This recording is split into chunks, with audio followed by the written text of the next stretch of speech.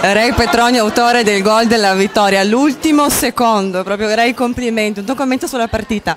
No, intanto grazie, eh, partita come sempre dura, tiratissima, però forse, forse qualcosa sta cambiando, eh, fino alla scorsa settimana noi queste partite le perdevamo, questa settimana siamo riusciti a buttarla dentro, questo maledetto ultimo gol, ce l'abbiamo fatta, siamo stati noi stavolta forse qualcosa sta girando. La partita durissima, abbiamo giocato abbastanza bene a tratti, e a tratti ci siamo fatti un po' prendere da, forse dall'emozione, boh, qualcosa non, non, andava, però siamo stati bravi a non mollare, a crederci fino alla fine. Grazie Ray. Grazie a te.